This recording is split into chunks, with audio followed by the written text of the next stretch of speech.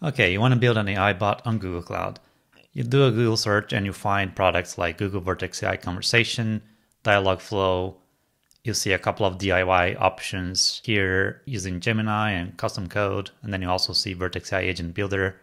I will not blame you for being confused, so let me try and explain the landscape. Let's start with a little bit of history. In 2017, Google launched Dialogflow ES, or Dialogflow Essentials. This is a chatbot building platform where you define a basic flat set of intents and you define training phrases for each of these intents and you have different ways of fulfilling those intents. So that's kind of a basic old paradigm of building bots. And then in 2020, Google launched Dialogflow CX, which allows you to do more complex conversation flows with hierarchies and different uh, flows to fulfill different kinds of intents. And it is optimized for customer service and contact center use cases. Then in 2023, Google launched a capability within Dialogflow CX called Generative Playbooks.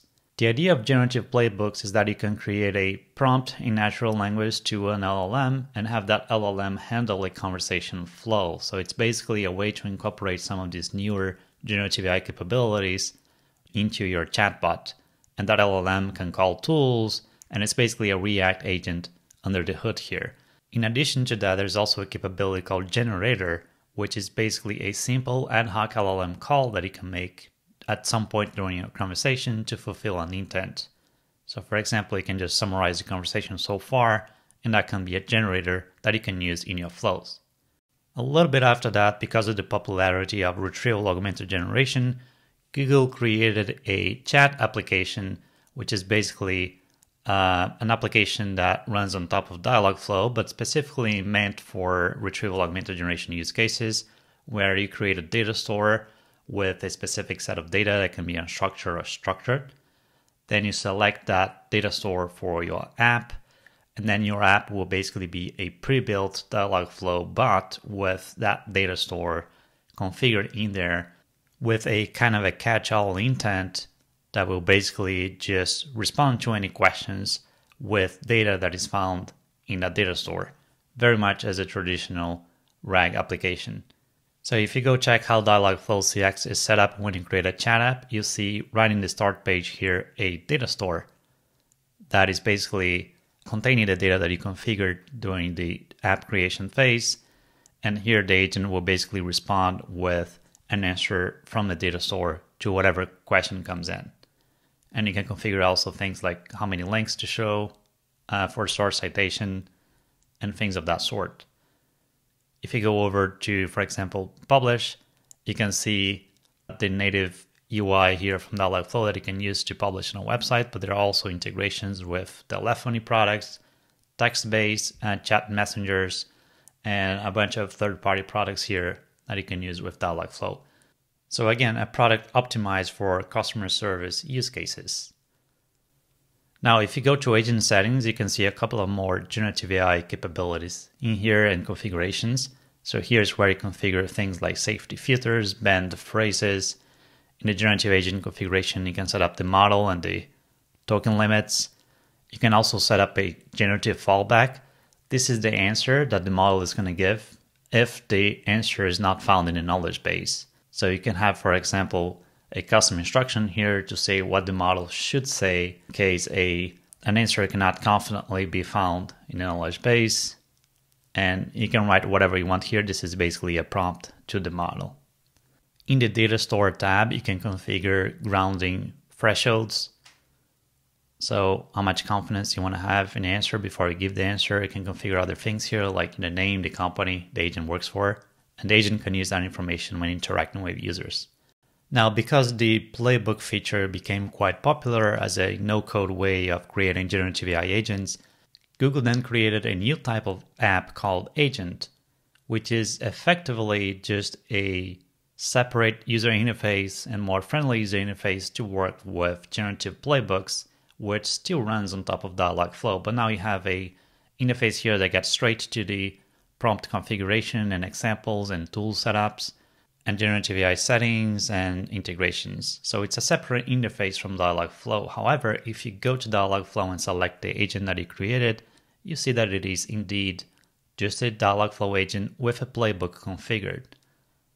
And nothing prevents you from actually working in Dialogflow with this agent and creating, for example, an intent and you know training phrases for your intent. And you can set up that agent with both Dialogflow intent-based conversation flows plus a playbook, which can be a fulfillment for a specific intent, for example. So for instance, here I can configure a route to the intent that I just created. And as a response from the agent, it's just going to say that it doesn't sell anything. Then we can go to the playbook and configure our prompts here to the model to handle a specific conversation flow. So here, let's say we just answer whatever question the user asked in Spanish. And we can test that in the test agent simulator here. And I'm asking stuff and getting responses in Spanish as expected. But now if I choose to specifically test not the playbook but the flow, then if I trigger the intent that I created here, it will give that hard-coded response. Okay, so in summary, in Agent Builder, if you create a chat type app, it will be taken to Dialogflow with a data store pre-configured and it's basically a retrieval augmented generation type of application. If you create an agent type app, you will be taken to the agent console, which is effectively just a UI on top of the generative playbook capability within Dialogflow. And again, you can mix and match these uh, generative AI based agent with conversation flows or intent based conversations. So that creates a spectrum of possibilities here. You can create deterministic agents, which are workflow based, with predefined paths and not much in terms of generative responses. And here, the use cases that would be appropriate for that would be things like order status, insurance claims, and password resets. So basically, whenever you have very specific conversation flows that you want more deterministic responses out of and not a lot of degrees of freedom or generative capabilities in the agent, then somewhere in the middle, there is a hybrid agent, which is where you combine predefined paths and more flexible generative conversations. Here you can have certain flows or intents be handled with like an intent-based conversation flow, but also a generative model that has more flexibility in terms of how it handles conversations. And then use cases here would be shopping assistant or a banking assistant or a healthcare benefits agent. Then we have the full-fledged generative agents where it's fully driven by LLMs. It's a reason and act agent pattern with potential to use and you basically prompt it and provide examples and the agent will take care of the conversation. So a lot of freedom and flexibility here, but also a little bit riskier because, you know, models could hallucinate or misuse a tool, etc. But here good use cases would be things around retrieval augmented generation like corpus Q&A, open-ended Q&A, or even content creation assistance.